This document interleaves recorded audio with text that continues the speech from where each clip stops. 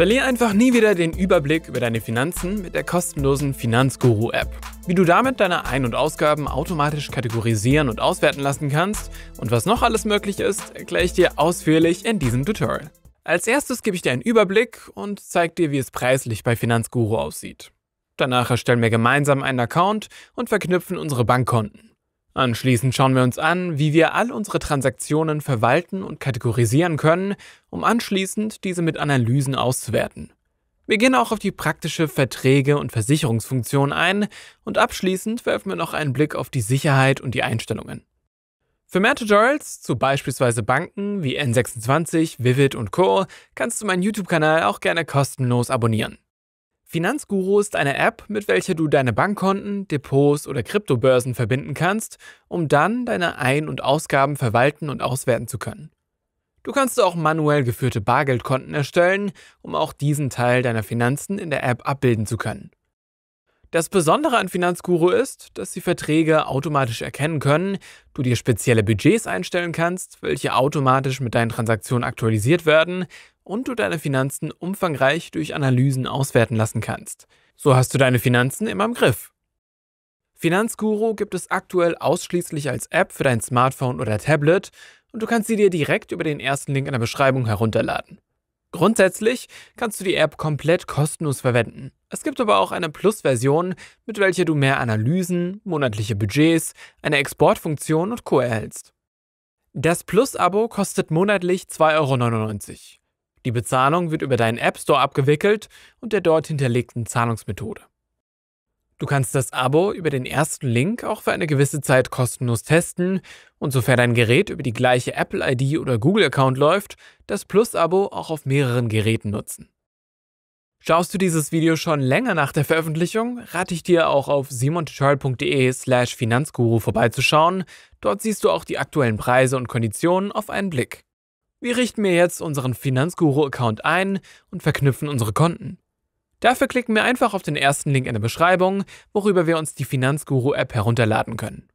Finanzguru ist aktuell nur als App für dein Smartphone oder Tablet verfügbar, sowie als App für dein MacBook über den Mac App Store. Eine Windows- oder Web-Version gibt es aktuell nicht. Starten wir die App das erste Mal, werden wir über die AGBs und Sicherheitsstandards informiert, auf welche wir am Ende des Tutorials noch genauer eingehen werden. Wir müssen auch ein Passwort für die App festlegen und unser Touch- oder Face-ID verknüpfen, womit wir die App zukünftig immer entsperren können. Jetzt befinden wir uns in der App und müssen ein Konto hinzufügen, um die Funktion nutzen zu können. Um ein Konto hinzuzufügen, müssen wir als erstes ein kostenloses Benutzerkonto bei Finanzguru erstellen mit unserer E-Mail-Adresse. Dann müssen wir die Bank von unserem Konto auswählen, welches wir als erstes verknüpfen möchten. Dafür einfach den Namen der Bank eingeben oder die BIC. Wird uns kein Ergebnis zur Bank angezeigt, wird diese aktuell nicht von Finanzguru unterstützt und wir können das Konto nicht verknüpfen. Über die Ideen-Vorschlagen-Funktion können wir eine fehlende Bank vorschlagen. Die meisten deutschen Banken werden dabei unterstützt. Haben wir die Bank ausgewählt, müssen wir uns mit unserem Bankaccount anmelden und schon werden unsere Bankdaten importiert. Das kann einen Moment dauern. Gut zu wissen ist hier, dass wir mit dieser Verknüpfung Finanzguru nur einen Lesezugriff auf unsere Transaktion geben. Das heißt, du kannst mit Finanzguru keine Überweisungen oder Co. durchführen, was dich vor potenziellem Missbrauch schützt. Zukünftig werden je nach Bank neue Transaktionen automatisch synchronisiert oder wir müssen es manuell tun. Das sehen wir in der App direkt auf der Startseite bei unserer Kontoübersicht. Wenn dort rechts am Rand ein Aktualisieren-Pfeil ist, müssen wir durch Klicken auf diesen das Konto manuell aktualisieren, um neue Transaktionen in der Finanzguru-App anzuzeigen. Wenn der Pfeil nicht da ist, passiert die Aktualisierung automatisch. Unter Mehr in der App können wir unsere hinzugefügte Bankverbindung auch immer anzeigen und über ihre Details den Zugang erneuern, falls ein Fehler aufgetreten ist. Das passiert beispielsweise, wenn wir die Login-Informationen bei unserer Bank ändern. Dort sehen wir auch alle Unterkonten, die wir bei der jeweiligen Bank haben und können einzelne auch ausblenden oder umbenennen, was nur den Namen in unserer Finanzguru-App betrifft. Jedes Konto und Unterkonto können wir auch einem Typ zuordnen, was für die Analysen und Co. später in der App relevant ist. Eine Bankverbindung können wir hier in der Verwaltung auch einfach wieder komplett entfernen und auch weitere hinzufügen, falls wir mehrere Konten haben. Hier können wir auch ein Bargeldkonto anlegen, womit wir Transaktionen auch manuell in der App hinzufügen können. Um unsere Account-Erstellung bei Finanzguru abzuschließen, müssen wir jetzt noch unsere E-Mail-Adresse bestätigen und können uns zukünftig auch mit dieser auf anderen Geräten in der Finanzguru-App anmelden, um unseren Account auf mehreren Geräten nutzen zu können. Schauen wir uns jetzt an, wie wir die Finanzguru-App verwenden und alle unsere Ein- und Auszahlungen verwalten können. Ich zeige dir jetzt alles anhand der Finanzguru Plus-Version, mit welcher wir alle Funktionen erhalten. Damit du weißt, welche Funktionen kostenlos sind und welche nur im Abo enthalten sind, siehst du in der Ecke im Video immer eine Plus-Einblendung, wenn wir über eine Funktion sprechen, die nur mit Abo verfügbar ist. Starten wir die Finanzguru-App, sehen wir auf der Startseite oben direkt eine Übersicht, wie viel Geld wir im aktuellen Monat noch von unseren Einnahmen zur Verfügung haben. Klicken wir darauf, sehen wir im Detail, wie viel Einnahmen und Ausgaben wir im oben rechts festgelegten Zyklus hatten, was standardmäßig immer der aktuelle Monat ist. Dort sehen wir unsere Ausgaben auch in Kategorien unterteilt, was uns auch ausrechnet, wie viel Geld wir pro Tag im verbleibenden Monat noch ausgeben können, damit die Ausgaben unsere Einnahmen nicht überschreiten. Darunter sehen wir auch im Verlauf, in welchen Monaten wir nicht mehr ausgegeben haben als eingenommen, sowie umgekehrt, wo wir uns auch die Details mit den Beträgen ganz genau anschauen können. Ganz unten können wir auch festlegen, welche unserer verbundenen Konten dort berücksichtigt werden sollen, was praktisch ist, wenn wir mehrere Konten haben und diese Statistiken beispielsweise nur für unser Tagesgeldkonto nutzen möchten. Hier können wir auch festlegen, zu welchem Tag im Monat sich die Statistik zurücksetzen soll, was standardmäßig zum Monatsbeginn passiert. Zurück auf unserer Startseite können wir auch Budgets für verschiedene Lebensbereiche erstellen. Also wie viel Geld wir beispielsweise für Lebensmittel, Mobilität oder Co pro Monat ausgeben möchten. Hier können wir auch ein ganz individuelles Budget erstellen, wo wir einen eigenen Namen und Symbol auswählen können. Das Budget können wir dann anhand von Kategorien, Tags, Konten, Empfänger oder auch Buchungstyp zuordnen. Im nächsten Schritt können wir dann festlegen, ob das Budget für eine monatliche Ausgabenübersicht genutzt werden soll oder als Sparbudget, womit wir zukünftig Geld in dem Bereich zusammensparen möchten. Dann geben wir an, wie viel wir im Monat maximal in dem Budget ausgeben oder sparen möchten, wo wir praktischerweise unterhalb einer Auswertung der letzten Monate sehen. Abschließend können wir noch das Intervall festlegen, wo ich dir rate, das gleiche wie in den Statistiken vorhin zu wählen, damit es nicht verwirrend wird. Jetzt sehen wir unsere Budgets in einem eigenen Bereich und können direkt sehen, ob wir uns noch in diesem befinden. Klicken wir ein Budget an, sehen wir auch seinen Verlauf, können Korrekturen hinzufügen, das Budget an sich bearbeiten und Prognosen aktivieren. Mit der kostenlosen Version von Finanzguru können wir nur ein individuelles Budget erstellen. Scrollen wir in der Übersicht weiter runter, sehen wir alle unsere verbundenen Konten, sortiert in tägliche und Sparkonten. Ganz unten können wir auch eine Gesamtübersicht von all unseren verbundenen Konten aufrufen und die Anordnung der Konten hier auch sortieren. Klicken wir hier ein einzelnes Konto an oder ganz oben alle Buchungen, können wir alle unsere Ein- und Ausgaben in einem chronologischen Transaktionsverlauf abrufen. Hier werden die einzelnen Transaktionen meistens schon direkt der richtigen Kategorie und Anbieter zugeordnet. Das macht Finanzguru anhand von ausgehenden Kontonamen und dem Verwendungszweck.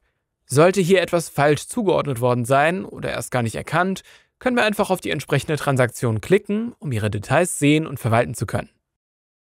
Unter dem Namen können wir dann die zugeordnete Kategorie verwalten.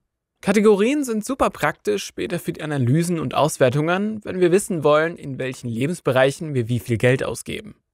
Finanzguru bietet hier schon einige vorgefertigte Kategorien, aber wir können auch eigene erstellen. Das geht ganz unten in der Kategorie Auswahl. Zu jeder Kategorie können wir auch Unterkategorien erstellen, um die Kategorien noch besser differenzieren zu können. Mehr differenzieren bei unseren Transaktionen können wir auch mit einfachen Tags, die wir zu einer Transaktion hinzufügen können. Hier können wir auch mehr als einen hinzufügen und der wird uns dann direkt in der Transaktionsübersicht angezeigt und nach Tags können wir dann über die Suche einfach filtern und sie auch für unsere Analysen oder Budgets nutzen. In den Transaktionsdetails sehen wir auch weitere Zahlungen, die letztens mit dem gleichen Empfänger im Zusammenhang stehen und alle Details vom Empfänger. Wollen wir uns irgendwas Bestimmtes im Zusammenhang mit der Transaktion merken, können wir auch eine individuelle Notiz hinzufügen. Über Bearbeiten am oberen rechten Rand können wir die Transaktion auch als erwartete Rückzahlung markieren, falls wir beispielsweise eine Bestellung storniert haben Oder wir können die Transaktion aufteilen, falls wir beispielsweise mehrere unterschiedliche Sachen zusammen bezahlt haben. Jede Transaktion können wir auch für unser erwartetes Guthaben ausschließen und diese wieder als ungelesen markieren. Denn jede neue Transaktion wird standardmäßig mit einem blauen Punkt angezeigt. Das bedeutet, dass sie ungelesen ist und das ist super praktisch, damit wir kontrollieren können, ob alles richtig erkannt wurde bei einer Zahlung. Mit einem einfachen Wisch nach links können wir sie in der Übersicht direkt als gelesen markieren oder am unteren Rand alle als gelesen markieren. Als Plusnutzer können wir in der Transaktionsübersicht auch nach oben wischen, wo wir prognostizierte Zahlungen sehen, beispielsweise von aktiven Verträgen, die wir aktuell haben, und wir können auch Buchungen vormerken, was praktisch ist, wenn wir schon große Zahlungen, die wir in naher Zukunft tätigen wollen, berücksichtigen möchten. Finanzguru erkennt automatisch Verträge aus wiederholenden Zahlungen oder bestimmten Absendern, welche sie uns dann in einem eigenen Bereich in der App darstellen. So sehen wir auf einen Blick, welche aktiven Verträge wir haben, sortiert nach ihrem Intervall. In der Übersicht sehen wir auch die Höhe der Beiträge und einen Hinweis, ob der Preis sich in der letzten Zeit verringert oder erhöht hat oder ob wir den Vertrag gekündigt haben. Wird ein Vertrag von uns nicht automatisch erkannt, kann es entweder sein, dass er uns oberhalb als Vorschlag angezeigt wird und wir diesen erst bestätigen müssen, oder wir fügen ihn ganz unten manuell hinzu. Dafür wählen wir die entsprechenden Transaktionen von unserem verbundenen Konto aus. Wenn noch kein Beitrag abgezogen wurde, können wir den Vertrag auch ohne Transaktion schon hinzufügen. Im nächsten Schritt geben wir dann das Intervall an und eine Kategorie. Wenn wir keine Transaktion mit dem Vertrag verknüpft haben, können wir auch den Namen, Betrag, Konto und nächste voraussichtliche Abbuchung angeben.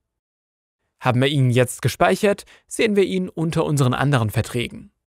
Klicken wir einen bestehenden Vertrag an, können wir seine Kategorie, Intervall und Betrag nachträglich bearbeiten, sowie einen Vertragswecker aktivieren, welcher uns vor Verlängerung des Vertrags erinnert. Wir können auch individuelle Notizen bei dem Vertrag speichern, was praktisch ist, wenn wir besondere Konditionen oder Bedingungen nicht vergessen möchten und sehen auch immer, von welchem Konto der Vertrag abgezogen wird. Wurde der Vertrag automatisch erkannt, bietet Finanzguru bei einigen Verträgen auch direkt eine Kündigungsfunktion an, wo wir dann unsere Informationen eingeben müssen, welche an den Anbieter geschickt werden. Haben wir den Vertrag selber gekündigt, können wir das ganz unten auch vermerken oder den Vertrag komplett entfernen, falls er beispielsweise falsch erkannt wurde. Im Verträgebereich können wir am oberen rechten Rand auch nach Konten filtern, falls wir beispielsweise keine Transaktionen von unseren Sparkonten als Verträge fälschlicherweise erkennen lassen wollen. Neben den Filtern können wir uns hier auch neben allen Verträgen auch auf Wohnen bezogene Verträge und unsere Versicherungsverträge filtern.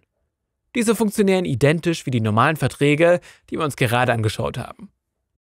Bei den Versicherungen bietet Finanzguru einen zusätzlich kostenlosen Versicherungsservice an. Damit kannst du dir auch alle Vertragsdetails zu deinen Versicherungen einfordern.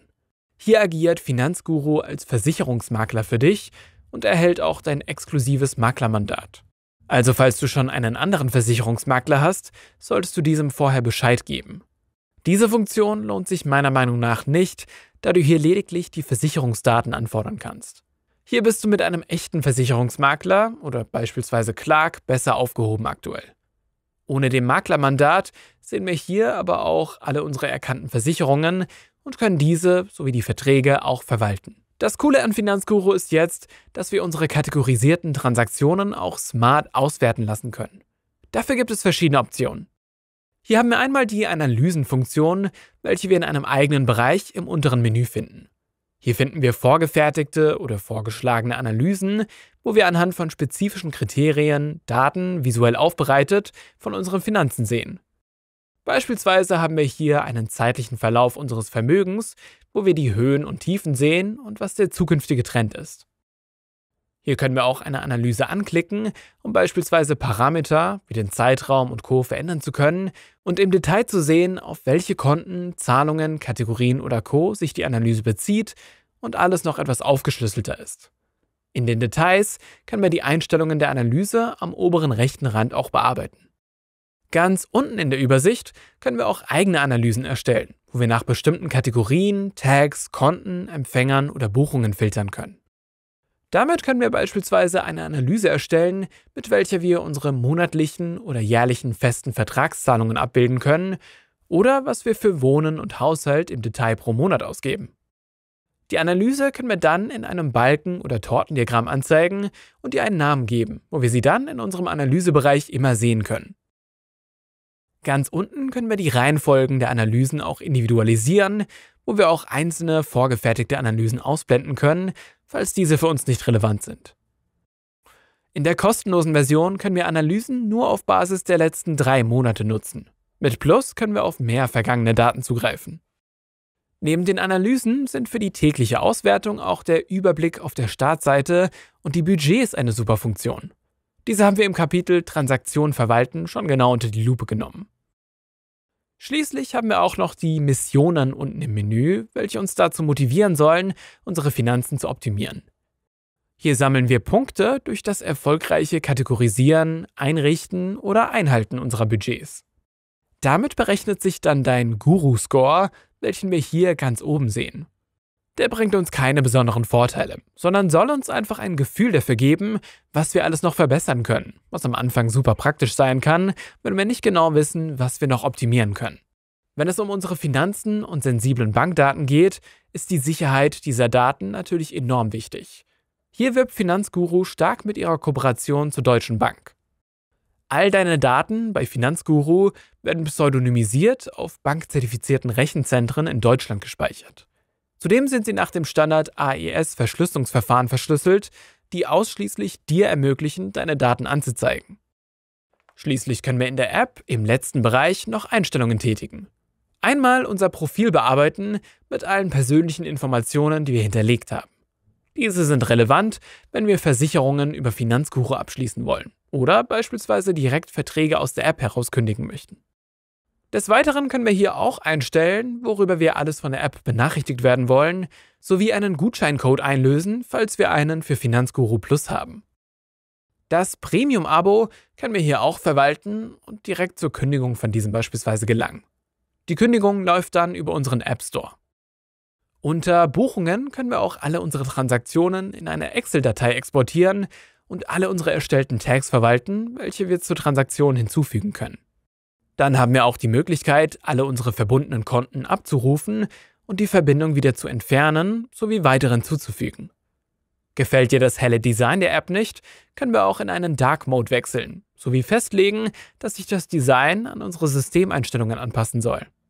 Wir können auch alle Beiträge in der App ausblenden, wie du es hier im Tutorial die meiste Zeit siehst. Das ist praktisch, wenn du beispielsweise jemandem die App zeigen möchtest, der aber deine Beiträge nicht sehen können soll. Ganz unten können wir noch Hilfe finden, alle rechtlichen und Datenschutzinformationen durchlesen oder uns mit unserem Account auf dem aktuellen Gerät ausloggen. Jetzt weißt du, wie du keinen Überblick mehr über deine Finanzen verlierst mit der smarten Finanzguru-App. Über den ersten Link in der Beschreibung kannst du direkt kostenlos durchstarten. Für mehr Tutorials zu Banken wie beispielsweise N26, Vivid und Co. kannst du meinen YouTube-Kanal gerne kostenlos abonnieren. Falls du noch Fragen oder Feedback hast, kannst du dieses auch gerne in den Kommentaren hinterlassen. Bis zum nächsten Mal!